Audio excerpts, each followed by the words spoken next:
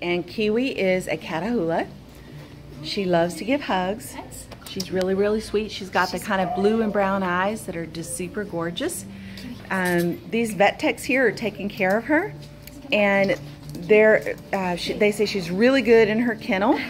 And um, as long as she, she gets to be the first one to go out, she definitely can hold it. She, smiles. she smiles and she's good with um, uh, all people, children, strangers. I'm a stranger to her, and she wants me to scratch her hair.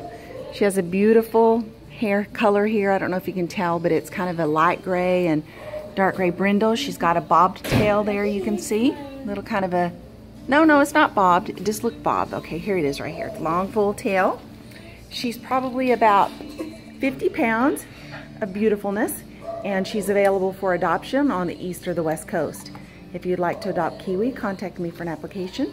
This is beautiful Kiwi.